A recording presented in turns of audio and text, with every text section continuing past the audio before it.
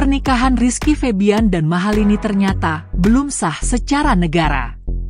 Sebab Rizky Febian dan Mahalini belum mendaftarkan pernikahan mereka ke kantor urusan agama.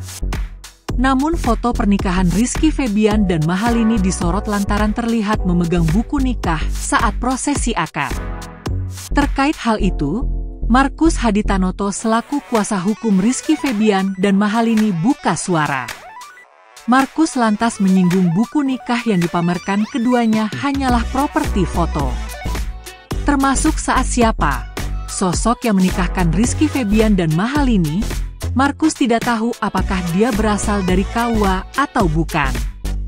Hal yang bisa dipastikan sang pengacara, sosok yang menikahkan Rizky Febian dan Mahalini, adalah dia yang membimbing penyanyi jebolan Indonesian Idol tersebut jadi mualaf.